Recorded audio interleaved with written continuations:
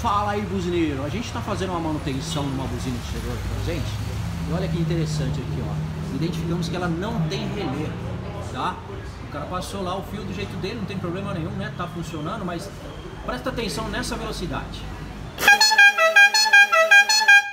A gente arrumou a corneta, a corneta ficou boa, mas a velocidade dela tá baixa. Por que isso? Porque não tem energia suficiente para rodar esse motor. Olha quando a gente instala com o relé. Olha como é que ela fica. Ó. Vou pedir para o buzineiro fazer uma simulação aqui, ó, tiramos o fio dele, colocamos. Quando a gente instala o relé, ela fica assim. Bacana, né? Essa é a função do relé, mandar a energia correta para a buzina.